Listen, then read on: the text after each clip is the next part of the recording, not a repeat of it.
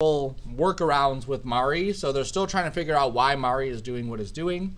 So as a uh, bandage, until we get it fixed, in your shortcut menus on the bottom, there's a shortcut to install the latest version of Mari. Okay, so if you go there and you click on that, you'll have to do this like every time you want to use Mari or every day when you come in that you want to use Mari.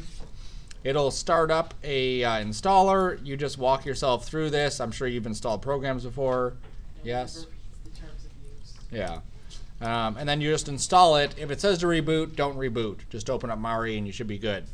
Um, with the Mari, with what I'm finding is if you have more than uh, Mari open, it will kind of crap out. Okay, so like right now, if I were to open Mari, it'll most likely crash. If I open up Photoshop and Mari, it'll most likely crash Mari. So um, when you use it, shut everything down. Just don't use any program. Just open up Mari on its own and then use Mari. And then when you're done, save it, close it, and then open up Photoshop or After Effects or whatever program you're going into. All right. um, so that's just the patch in the meantime until we get to the point of finding a, a permanent solution. Now, if it, um, I played with it for an hour this morning and was able unable to get it to crash in that hour. Okay, so in the hour that I used it, because I have the latest one up here, in that hour that I used it, it would lock up. Like it would, I would paint a stroke, I would hit Alt, and it would load the thing or try to uh, write the texture out, and then it would always come back. So even though it may seem like it's crashing, sometimes it's just thinking a little bit harder. Okay, so we'll just keep at it, and then hopefully we'll find a solution. All right, so for our next assignment, what we're going to be doing is an environment. And so, um, 3D environment. Oops. All right, so we're building a 3D environment. Now, we don't have the time allotment to build something enormous, okay? So we're basically going to be building a corner. That's what we're going to be focusing on. So your research for this is going to be um, going out and just finding lots of pictures of the kind of environment that you want to create. So something like this is actually pretty effective in creating an environment because it's a lot of very simple stuff um, and a lot of it is staging. And what makes it actually look kind of neat is actually how they put it together. It's not like they are trying to bring you into the um, into the piece so that you're standing on the front porch or standing in the in the street looking at the house. What you're doing is they're saying this is CG. Just look at the house. Look at it as a CG house, and you can see all the cool stuff that they've done to this. Um, and it's on Pinterest. I don't think we've talked about Pinterest before, but Pinterest is a really cool way to save all of your bookmarks so if you find images on the web and you're like, oh, I want to save it, instead of bookmarking it, which is locked to your computer, you can Pinterest it, meaning that you click the little heart and it goes to your Pinterest page, and then you basically have a bulletin board of all the stuff that you pinned and can get back to um, where you found that stuff. Nope.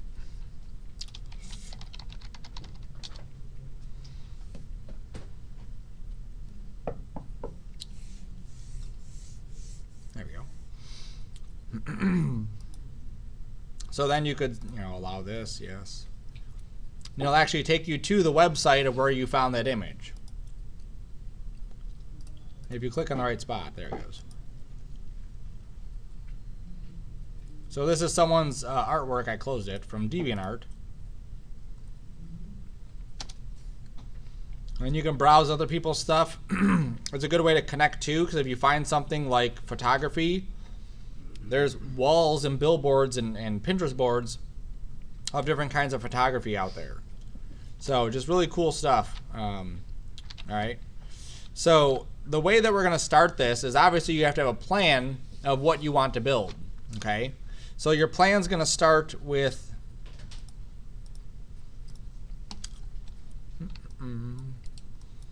with just this. This is where you're going to start with. So I started with a cube and I just deleted the top and the front face. That's your world. Okay, that's what we're going to populate. And we're not going to build it as like an entire city street, you're focusing on like one building, okay, or maybe two buildings inside here, or two fronts of buildings. So you see, I just have some basic placeholders. Um, I have a door, I have a window, I have some, this is obviously not finished stuff, this is just placeholder stuff, just to get an idea of staging for what I want to create. Okay? So these are all just props that I've kind of added into the scene just to get an idea of what the scene is supposed to look like, what I want it to look like. So as I start adding stuff into the scene, like I want a sign over this. Okay, so this is like a nightclub. Whoops. And I want to have a sign over here. I'm just creating a cube and just pulling it out. You know, how big do I want this sign to be? That's what's going to help me lay this out. It's kind of like before you go into design, you're laying out just shapes, right? You're laying out squares and circles and where you're going to put the text, where you're going to put the pictures. That's essentially what we're doing here. Because I may look at this and say, you know what, I don't like the way that sign's placed. Maybe I want to rotate it like this. That might be a little bit nicer to look at, especially if we're just kind of showing this from a certain angle. Now we can see the name of this club or whatever it is.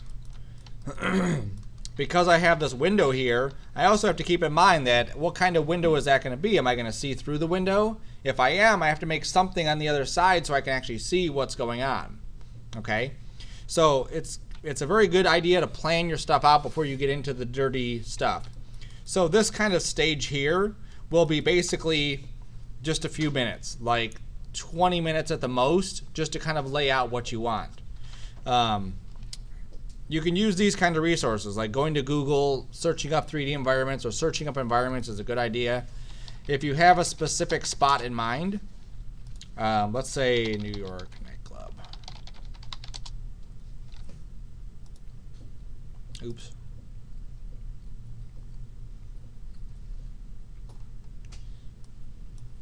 So the spotted pig. Oh, that's a nightclub.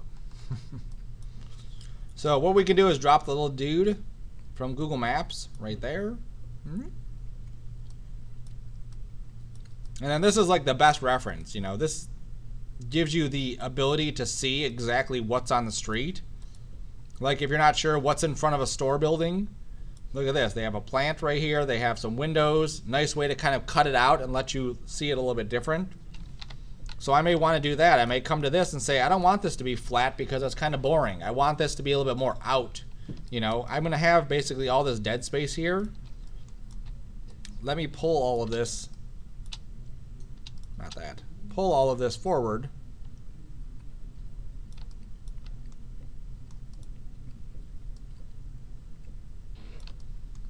Like that. And then I'm just going to insert some edge loops.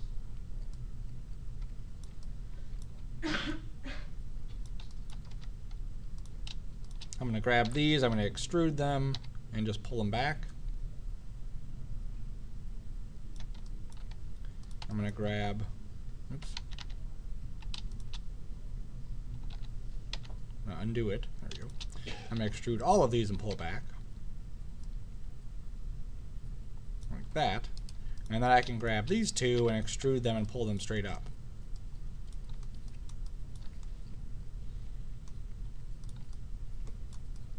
And then maybe I'll go through with my, whoops, edge loop here, edge loop there. All right, I'm going to use a different tool. So uh, one of the things you may run into when you're using anything, you're modeling stuff, is tools. What tool should I use?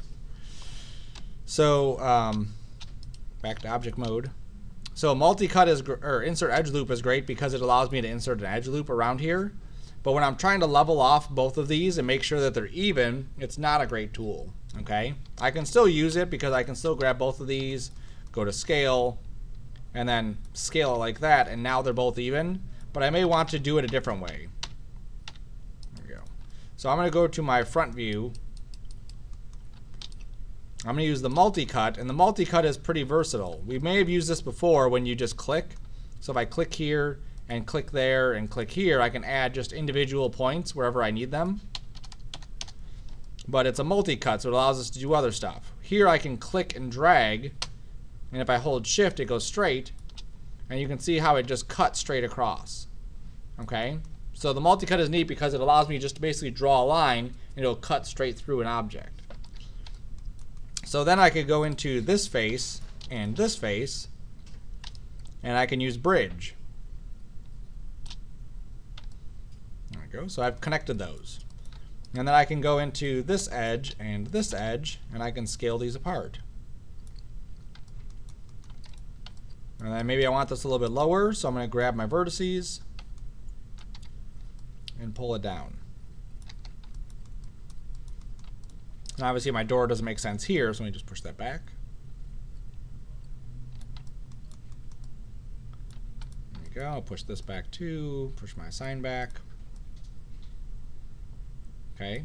So you get the idea here that before we go into any major detail, we really want to investigate what the shapes of this are. What does the outline look like? What does the rough, the sketch look like? Okay. And for stuff like this, it really gives you an idea of where you're going to need to add more detail, where you can get away with not having as much detail, um, and then anything else that may pop up along the way, just kind of like planning stages, right? So I may say, yeah, this looks cool the way this is, but you know, how am I going to shoot this because I have you know too much stuff in my scene? Okay, so maybe this bench needs to come down more. Maybe I need to add something over here because it looks too empty right? Maybe this is where I have just like one of those box plants or something. Maybe I'll put another box plant on this side. Next to the garbage so it looks nicer. Uh, maybe I need something right here. So what should I put there? Then I can go to my images and I can see what other people are doing. And then I also have to think about what kind of story I'm telling too, because there's a lot of stuff that we can try to tell with this.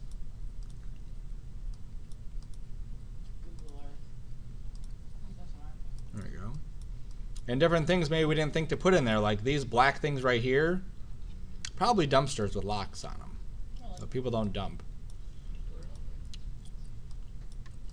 Oh, cones. That might be kind of a neat thing to put in there too, right? Mm -hmm. So if this is a nightclub, maybe I want to put some cones in the street so nobody parks in the street.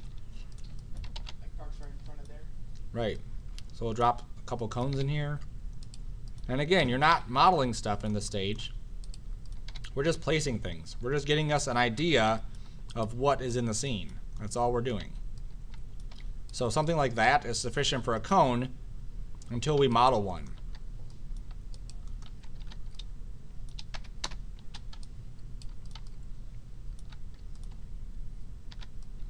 I'll throw one on that side too, just to kind of even it out. There we go. Okay, and that's what we're doing. We're just looking through and seeing what we want to put inside of our scene. Let's pretend we want to add a tree to our scene. Was that? It is Bleecker Street. Now let's say we want to add a tree to our scene. We'd obviously have to know how do we get a tree inside of Maya. Do we model the trunk? Do we model the leaves? How does that work? It depends on how you want to do it. If you want to bring the picture, you bring the take the picture and bring it in. Right. We could take a picture and bring it in, but then we have to consider a tree is going to be right in front of us. So we're going to right away tell it's fake, right? Uh, what if we want to light it differently? Then we have to look at that too, because maybe want, maybe this is the night scene because it's a nightclub, right? So it's a night scene in a nightclub. So I want to have this as something I can light. So um, let's see. If I go to general editors, where do they move this stuff to?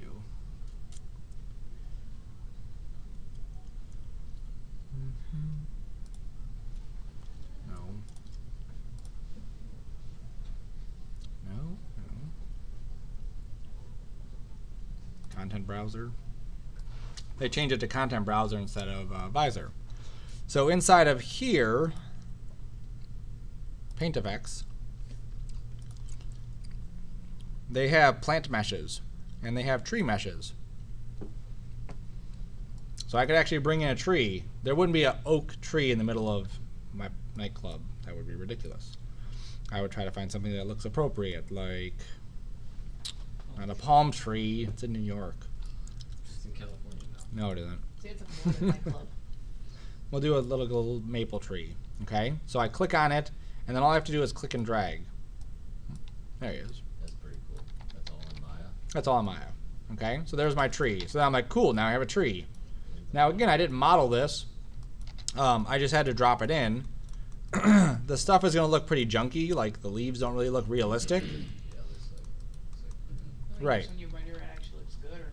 No. it looks okay, and I typically would use these as like a background element. Um, holy cow, it's taking a while. Oh, render RenderMan is my default. Let me hit escape. Close that. Discard. I don't know how RenderMan does that. Maybe Dylan. I'll blame him.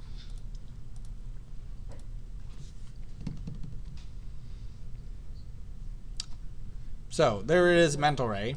Okay. Now this is a Paint Effects tree. Paint Effects is basically like. Oh, I guess it's not like anything else in any other program. Okay, it's basically like instancing. It's basically like a copy. It's basically like a script that runs on top of this that Mental Ray won't show. So what I have to do to get it to show is I have to convert this into a polygon. So if I go to Paint Effects to Polygons, right there, now I actually have polygon geometry that I could then render and then I'll get it. So you can see it definitely doesn't look realistic. the leaves, Looks like they have plastic on them. right. And that's basically what they are. They're a plane that has been deformed and there's a picture of a leaf on it.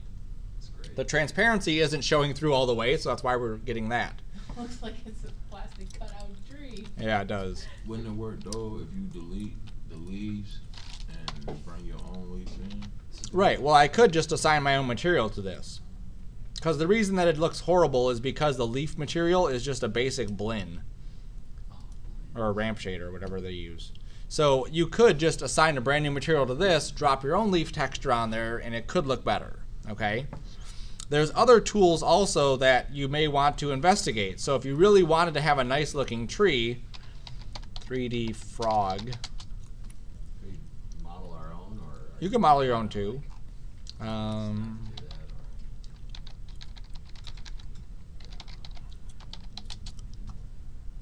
or I'm blanking on ThinkVerse. No, it's not ThinkVerse.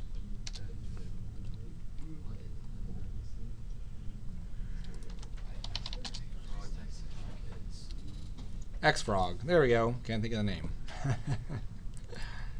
and I'll open it in Chrome. Maybe that'll open it better. What a world we live in. We have to have so many browsers. So Xfrog, you can actually download a trial of Xfrog and create stuff inside it.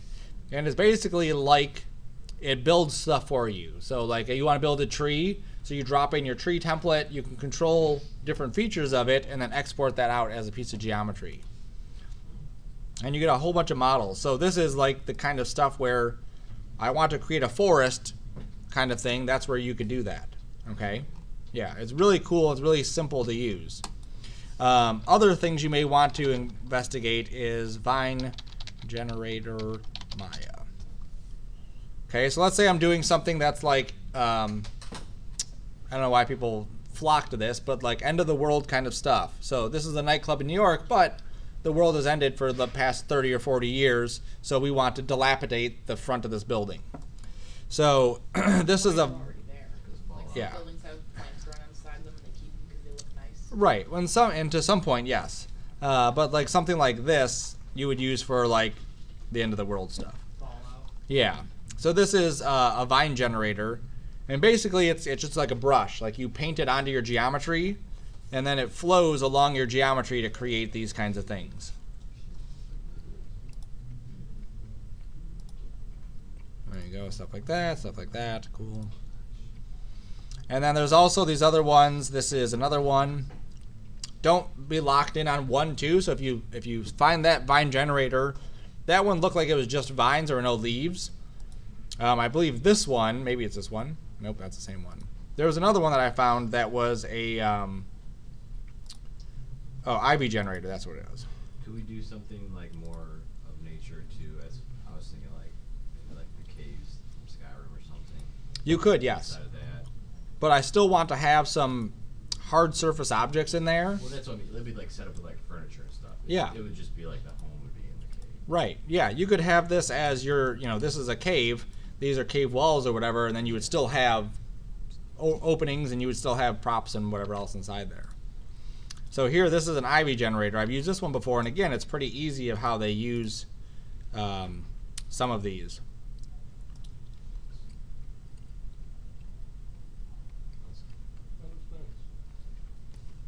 Okay. Better than the ones. And then here's some growing ones. Okay, lots of scripts, lots of plugins, lots of extra stuff out there. Don't rely on them to be like the end, like, well, that's what it looks like, so that's what I'm going to go with. Use it as a starting point. If the texture looks like junk, make a new texture. Okay, all the texture is grab a leaf, take a picture, cut it out in Photoshop. By this stage, most of you are nearing the graduation point. You should be able to go into Photoshop, cut something out, and just make an alpha channel and bring it back into Maya. We should be able to do that, okay? At least by the end of the semester. Even if you've never done it before, um, you should be able to work through that process. All right, so this is your first step is to go through and just lay out what you want your stuff to look like. Again, no major modeling at this stage. It's all just layout. What else do I want in the scene? Keep in mind our timeline. We have three weeks for this assignment. That's it. Okay? Um, so we're going to be rendering this. Um, we'll be rendering a little sweep of this. So obviously not as much as the other one. So just side to side. we'll have at least one object that we're bringing into ZBrush. Most of the other items, um, hopefully it's working. We'll be taking into Mari, and we'll be able to use Mari on those. So my trash can, I don't want to use just a shiny metal and call it a shiny metal trash can. I want it to look like an actual trash can. Okay, my bench that's over here, I want it to look like a bench. So as I model stuff in the bench, I'm going to model it like it should have. So I'm going to model the individual pieces of it. So when I look at a bench, there's a truck. I tell my kids, we were uh, vehicle shopping at one point, and we were like, oh, we can get a kidnapping van. like, what's a kidnapping van? I'm like, look, you can put the kids in the back and nobody can get out and nobody can hear them scream. Like, what? That's a real thing? That comes Pretty down hard to find a bench in New York City. It is, apparently. nobody wants to sit down. Look at that. Oh my god, all that garbage. Yeah, it's all blocked off. Welcome. Um, let's go back. What Oh, the heck? Inside. This is getting. this I know. Man, this is. This is really advanced. So, are you, do you want us to do like an outdoor scene, or does it matter? It doesn't matter. An outdoor scene is easier than an indoor scene. As far as like the details you can put in there. Could you just do Google? I could, yes. You don't have to put trees or plants though in an indoor scene unless you absolutely have to. right. So something like this is nice if we're doing something that is nice and clean. There's no story though with a bench like this. You know, it's just like there's a bench.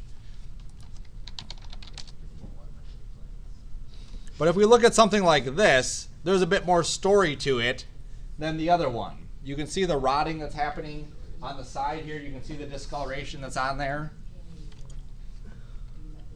Okay, like I said, it doesn't have to be like the end of the world kind of stuff, but there still is life typically in most items that are around. This is kind of neat too.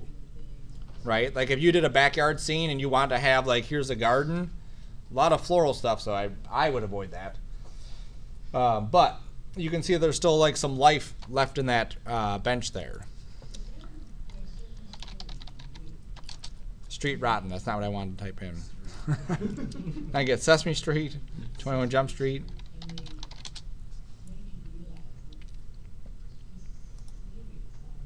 So even like this is kind of neat how they have this here. Here's alleys. And then you want us to keep this kind of smaller scale? Right, because we only have three weeks, we have to keep it pretty small, right? So you could even do like an alleyway, right? So you have an alley and you'd have the back of buildings. You'd have like the ACs. Oops, go back a bit. Have you seen that bit in? I forgot what the city is called. The walled city. It's something they tore down. It was in China. I think it was like a, walled Forbidden city. Kingdom. They tore it down in I think the eighties. It was just like a box. That's a movie. People like the population was just was just insane. Like the amount of people that were crammed into this small area. But like they're doing like I think they're doing a video game that takes place inside of it. No, it just looks it. really cool just because of the everything's just built right on top of each other. So it's just like labyrinths of stuff. Right. Man, to But no, it looked really cool. They ended up, yeah, it like tore it down in like the 80s or something. Yeah, so even like stuff like this, like there's wires.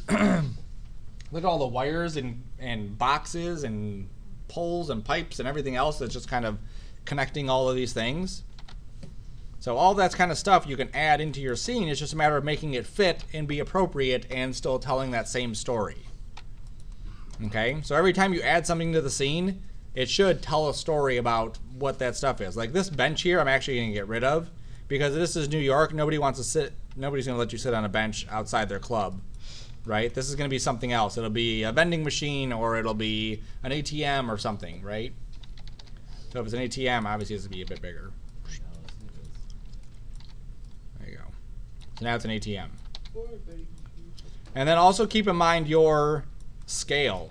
So your scale is very important because uh, look at how big the doorway is. That's a normal human walking through that. Now look at my ATM. What ATM is that big? I don't know. Is that big? I've been it that big? Like that big? I'm a short guy. It like It's huge. Right, like this big.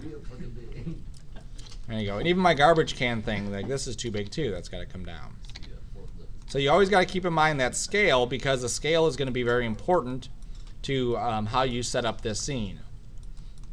Okay, so once you have this in mind, your next step is going to be to do the lighting. Lighting happens much quicker if you don't have a whole bunch of geometry and a whole bunch of textures and a whole bunch of other stuff.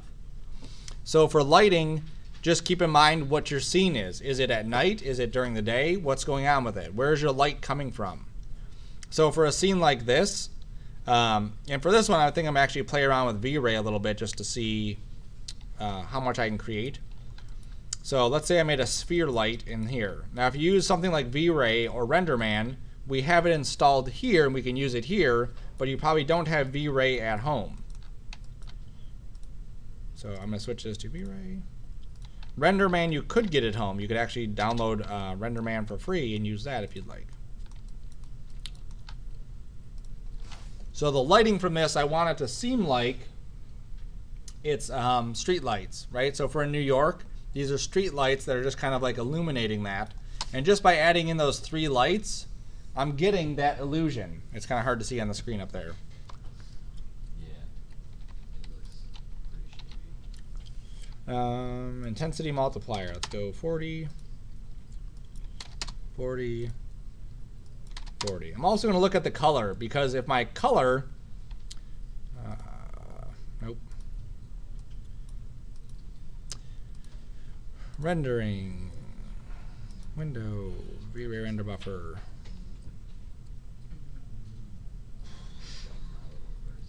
My gas can in dust. There we go.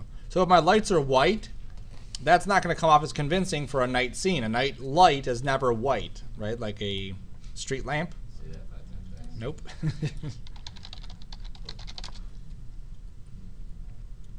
like you'll see, these ones are kind of like bluish tinted. And then these ones are more in the orangey spectrum, right? So I may want to add that into my scene too. And I can do that two ways. If you're using something like V-Ray, I can use the color mode, change the temperature, or change the color.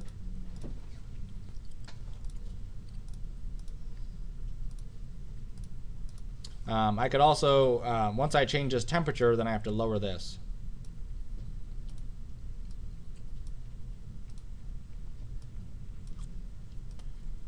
Dang it. I always do it. Let me render this to the Maya one.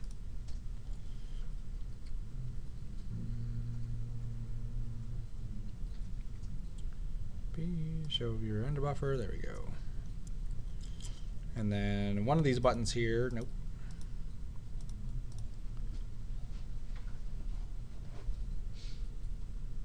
There it is.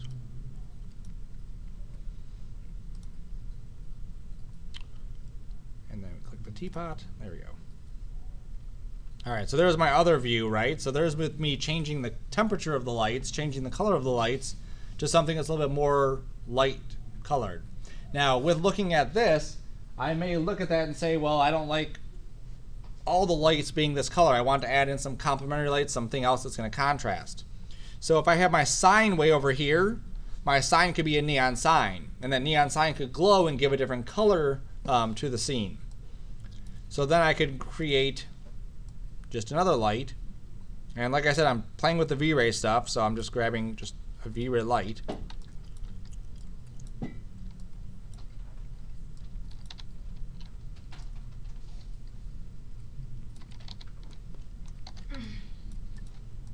And I'm just kind of sizing this.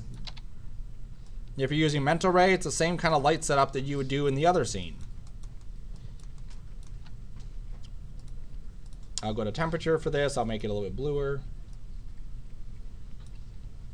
I'll save this image. I'll render the next image. And so now you can see how I'm introducing, unlike this green, I'm not sure if that's going to go away. We'll find out. But I like how this is, you know, blue here, and then I got the orangey yellow light coming in from my street lights. Yes, ma'am. Like if you were to like actually make like a neon sign and you went into I'm guessing like Illustrator and you like double plus out some letters, how would you make those go up?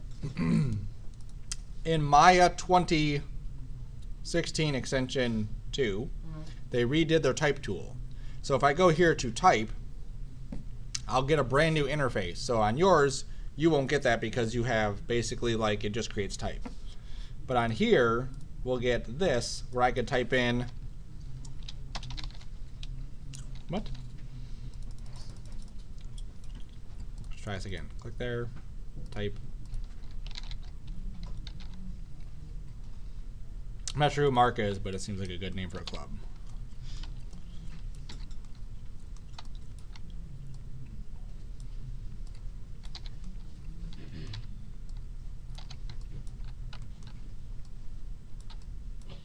All right, so let's say this is Mark's club. Um, I have a bunch of tools here where I can change the font, I can change my tracking, I can change my kerning, I can change the leading if there was extra lines, um, change the space width, there's no extra space width, there's a type manipulator you can play with. And then I can go to extrude, and I can play with different kinds of extrudes that I'll create this. So if I'm trying to do something that looks like neon signs, is basically like the tubes, right, that would be created. So with this, I can tweak this and see if I can get something to show up.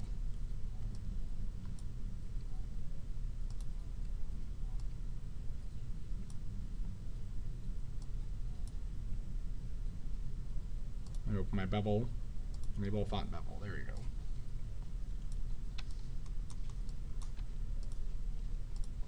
So you can see how that's kind of changing that. Um, well, I don't think I'm going to be able to find one that's going to be like that for this. Alright, well if I wanted just this, that's how I would do this one, okay? So let's say I wanted the other one, which is more of like tubes. Go back to my type. Um, where is it at? There it is. I'm going to convert this to create curve from type. And so now if I look inside here, what? Come on. Type. There it is. So now I have these. so then to create the, um, I'm to try one thing and then we'll see if it works as good as I think it's going to.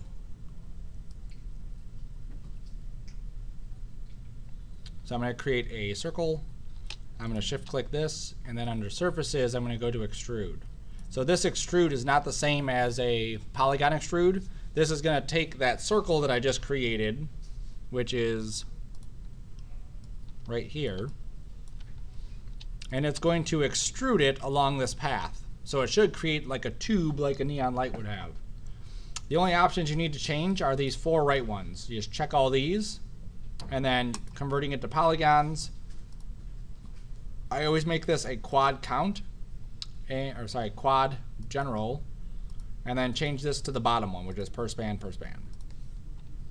Okay, so that creates the three using this circle.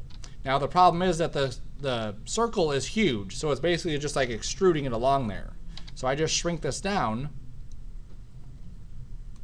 and then we have that three that is basically just a tube that goes around it. Okay. Now you could do the same thing in Illustrator if you were to draw something in Illustrator. you could draw whatever you want inside Illustrator. So if you wanted to create your type inside there, create a nice scripty font that would then be brought in. Well, I was just wondering here, you get something like that to glow. Oh, to glow. Emanate its own light. Boom, boom, boom. Let me get the Illustrator, uh, show that real quick, and then we'll get back to that one. All right, so I just make any document inside Illustrator. You draw, you type, you do whatever you need to inside here.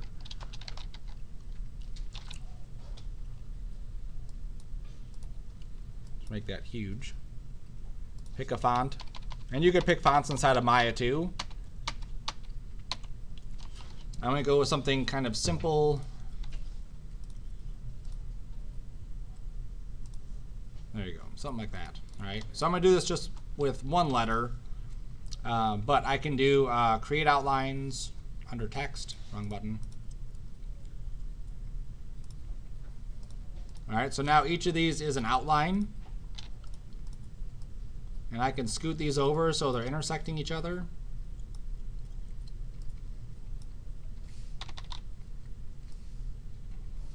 like that. And then I can grab all of these, use the Pathfinder,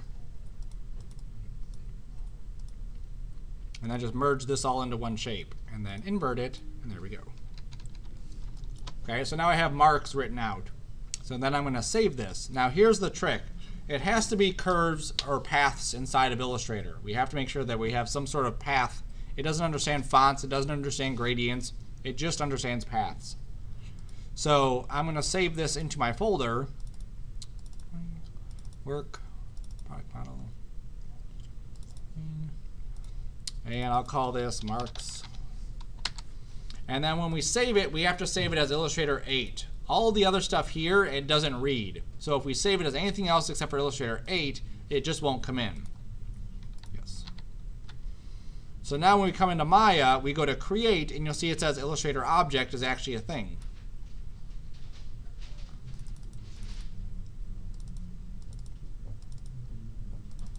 So there's my Illustrator file.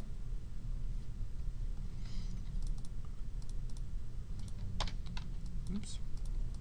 Okay, so there it is.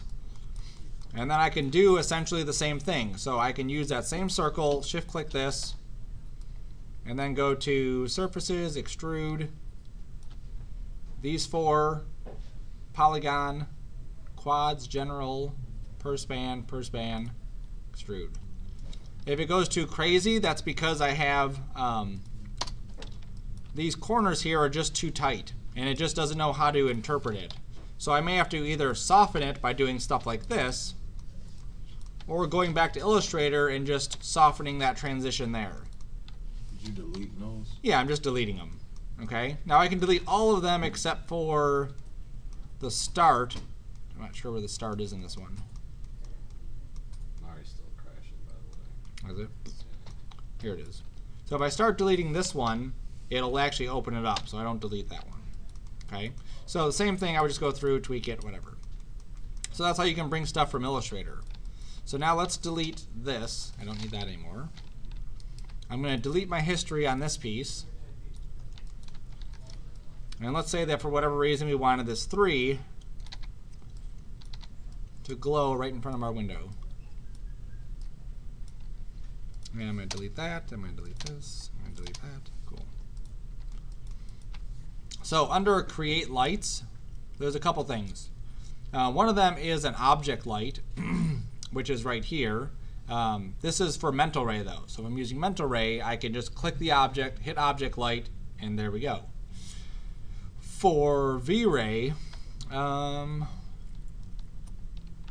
I believe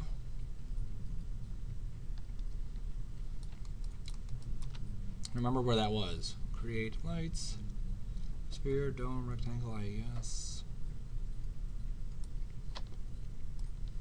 Sometimes it's under assigning a new material and on the material itself. There it is, V-Ray light.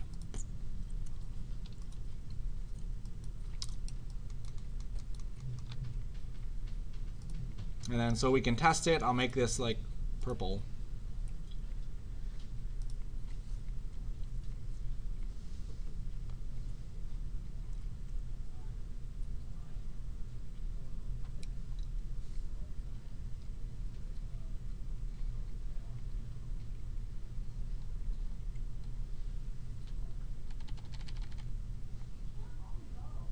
And that didn't work.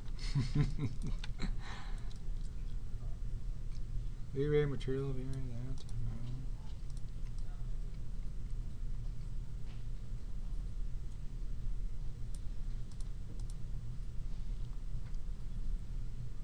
me see my rendering menu. Let me see.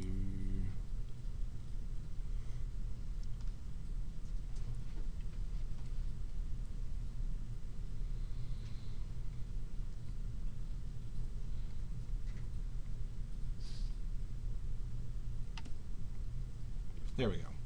Um, I went to the wrong spot.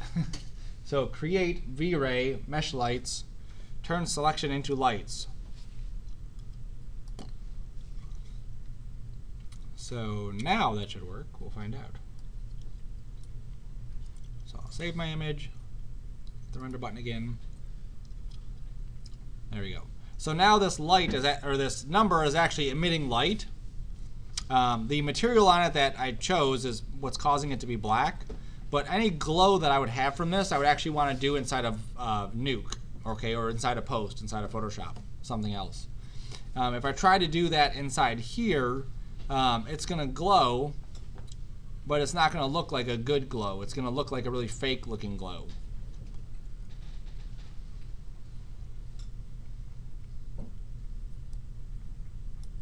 So this is almost done, 92, 93.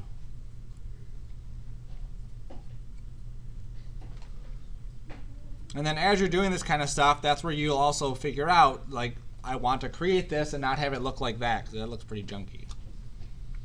So I have to figure out how to make this 3 glow. Now I know it's going to be something turning some sort of glow on. At the very least, it's going to be faking it. It's going to be basically cranking up. Yeah, that doesn't look good. Uh, cranking up some sort of material. So if I go into my Maya, I go into my surface shader, and I make this white here,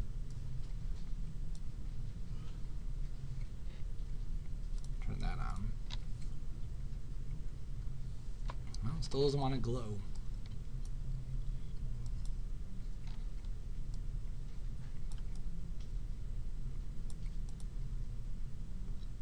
Color is white, yes. Texture, sure. Let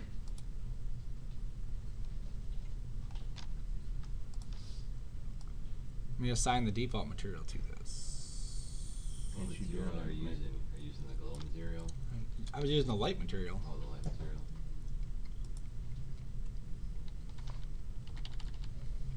Um, Let me make a different object. I like a three. Can't you turn the transparency down and, area lights it so it light light up?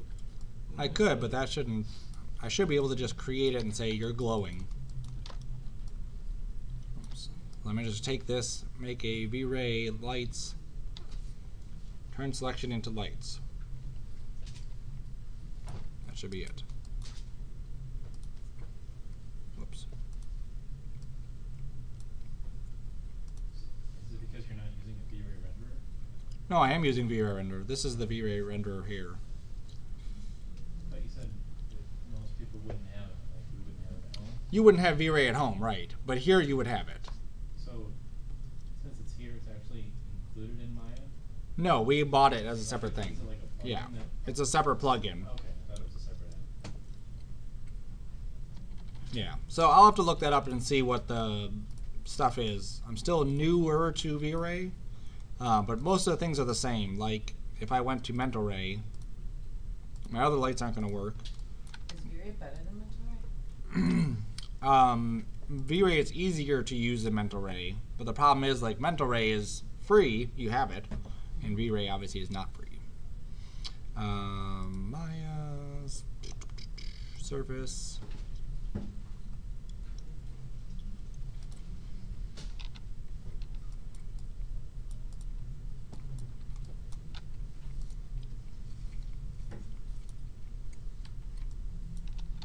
So here it is in Mental Ray. This thing is white, super duper white.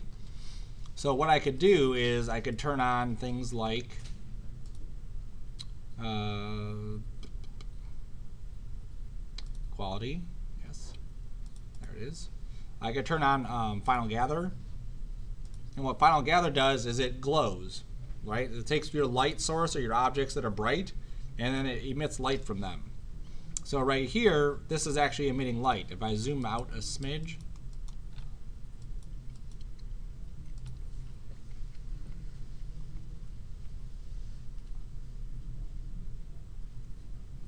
And let me create another light in the scene that's a regular mental ray light. So if I'm using mental ray, I would just create a regular uh, point light.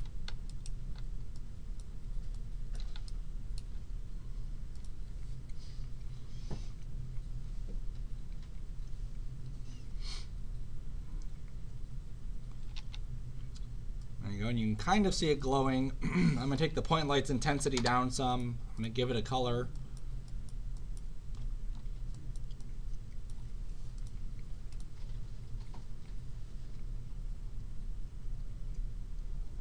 There you go. So now you can definitely see that this light is actually glowing and illuminating that surface. And the brighter I make that surface shader, so right now the intensity is at 1, the, the value is at 1. If I made that 10, even though we can't scroll up that high, it'll actually make that 10 times brighter.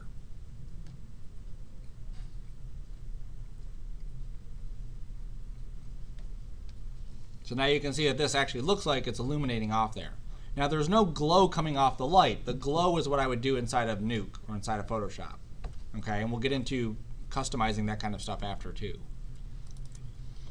Um, so that's how we would do stuff like neon. We would take our word and we would, there's my word,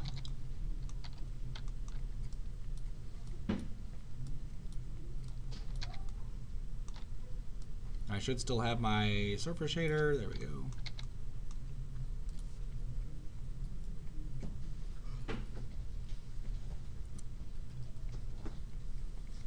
Now it's super glowy.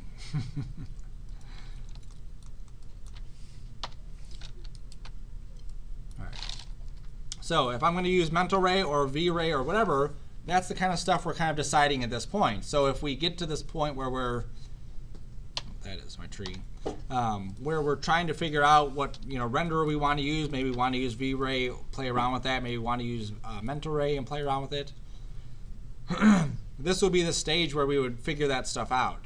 If you get a decent render from V-Ray or Mental Ray at this stage, like besides my big sphere that's hanging out here, and the green that's right there, the coloring in here actually looks pretty nice. Like I like the way it's darker on the screen up here but I like the way that it's coming out. Uh, one of these buttons. This one? Nope. There it is. One of these allows me to see it. I'm not sure why it's not showing. Allows me to adjust my color so you guys can see it better. Um, but the coloring on here is actually pretty nice, so I would probably stick with V-Ray for this. Now I have to keep in mind the limitation. I have to keep in mind that every time I want to render this, I have to come to V-Ray. But what it also means is that I, if I like it, it's good. I can just stay with it like this. All of my texturing, my modeling, everything else, doesn't matter because once I get my model built, that's for either platform, Mental Ray or Maya or uh, V-Ray or anything. Once I get my texture, that'll go across any platform. Once I get any of my stuff, it'll go across any platform. I just have to know that my final rendering and shaders are all going to be done inside of V-Ray, so they have to be done here. So if you can't come here during labs, you can't come here um, to render your stuff out when you need to, don't go with V-Ray. If you want to play with RenderMan, that's also a nice uh, renderer. If you have 2017, you want to use Arnold, you can. You can't render out uh, videos with it though, right? So you can only render out a single frame, otherwise you get a watermark on all of them. There is a workaround. Where is it?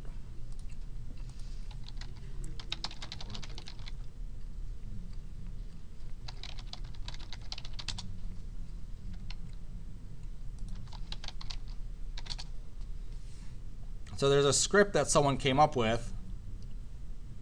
Not that. There it is. So this is a viewport batch renderer. So if you have Arnold and you want to render it out in animation, you could use this script and it'll go through and render out in your viewport frame one and save it. Then render out frame two and then render out frame three. Oh, I see. So it kind of just cheats it. It cheats it. Because of one, one, One frame at a time, right. kinda- The only bad thing is I've used it. It pretty much it locks up your station until it's done. Still usable, still awesome. Uh, if you want to play with it, um, Is there lazy? It's incredibly easy. It's literally just like you add a light, just like this one pretty much was. I added a light and changed the color, and it's it's reacting the way that it should be reacting inside my viewport. You know, the only thing I have to fix on these obviously is I don't want them to be glowing uh, in my scene, and then this I obviously don't want that to be green, which is weird. It might just be where it's hitting it. I'm not sure yet. Okay, so this class that we're doing, this this assignment is all about the environment. It's all about creating the best image. I'll show you just another cool thing with V-Ray. We were playing around with it the other night just because I've used it before, like years ago, but because we um, because Mental Ray was free, I never really dedicated much time to it. So there's a plane. Um, create V-Ray fur. There we go. and then I can just shrink that down. Well, that's cool. Then you make your grass. Yeah. So now I have grass in the middle of the street for some reason. It's New York. Right. They're actually tubes. There's tube worms. Oh wow. and then I can go in and shrink my thickness, 0.05. Sure. I could adjust my tapering. I could adjust my bend. These are under furry. What was that? This was under furry property. This is under create V-Ray, whoops, V-Ray fur, add to mesh. What if you want to do it for mental ray? Can you do it? Mental Ray has other stuff. You'd have to use XGen for Mental Ray. And then for this, I would assign a new material under V-Ray, hair. And then I would choose a green color.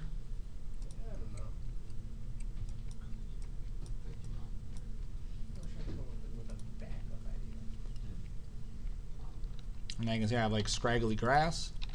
Hmm. And then I can go to my fur properties and say I want per area. Whoops, that's too much. Funny.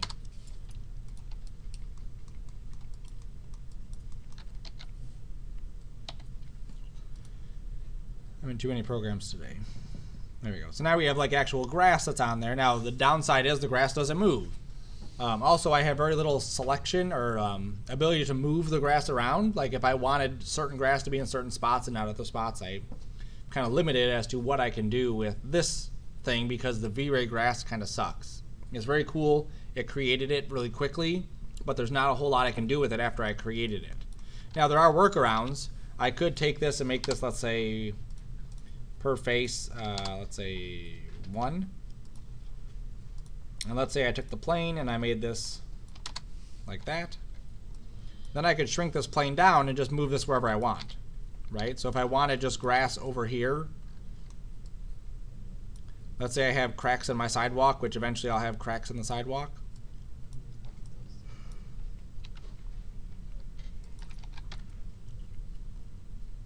And then I can also go through, let's see, level of detail, no, variance, that's what I want length variance. and I can crank up that.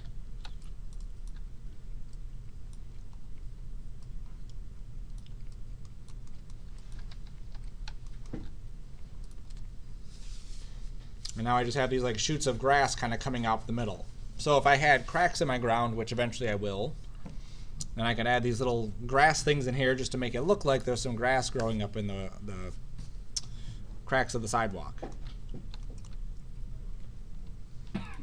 Okay? So a lot of it's going to be having to work around it. But that's getting ahead of, of what we're doing. So the first part, create your layout. Then add your lights.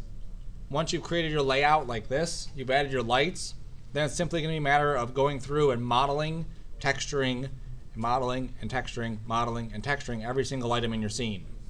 So stuff like this, I'd want to go through and actually model what a cone looks like. I'd want to go through and model what one of these look like. Eventually, I would delete all of this stuff. I would delete all of these. I would model a single one. I would texture a single one. I'd get this single cone to look exactly like I want it to look. Then I would duplicate it and scoot it over and then start adjusting stuff. Okay? Same thing with my sidewalk. I'd make sure that my sidewalk was what I wanted it to be. Okay? What you don't want to happen, what always happens, is people don't plan their stuff out and then they realize I need my sidewalk to be this much bigger or this much smaller or I need a little bit more room here or there because you just didn't plan your stuff out.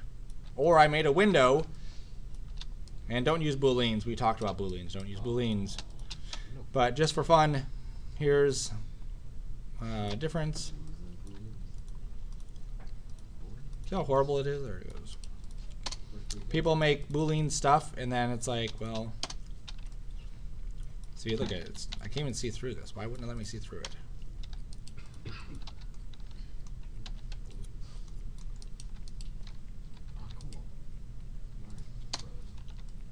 There we go.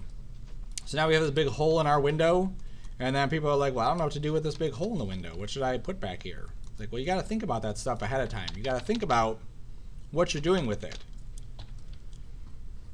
And if you can't think of something to put in that window, then don't put a window. Put something else. Put it blocked up. Put curtains in front of it. Figure out some way to do it. Okay? So once you're done working on your other assignment, oops, keep that there. Then you can start building this kind of stuff. Like I said, we have three weeks.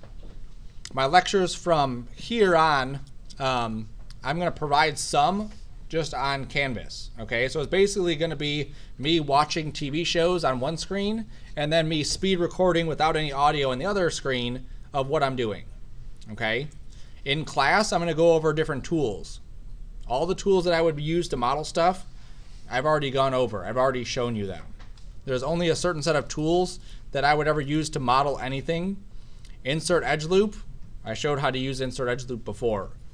Multi-cut, I've shown how to use multi-cut. Um, and then extruding, and then beveling, and then bridge. Those are typically like the five tools I use for every single thing that I'm modeling. Maybe not bridge, but everything else.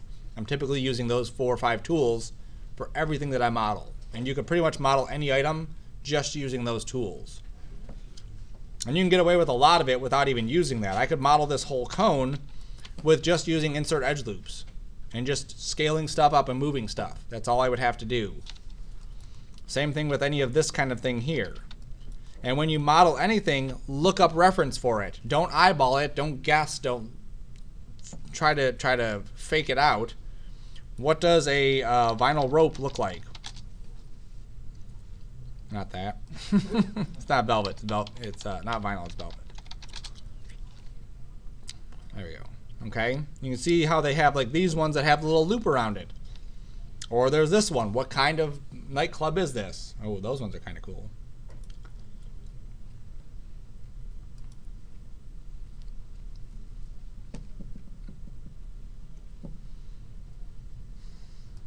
There you go. And if you don't have Maya at home, do all your reference at home. Do all your research at home. If you make a Pinterest board, you can make a Pinterest board for your environment assignment. And when you're sitting on the potty, you can look up all these pictures of stuff for your room, and then you can Pinterest it all and save it.